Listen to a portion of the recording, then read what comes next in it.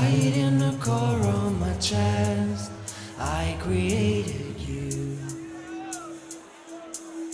Tied in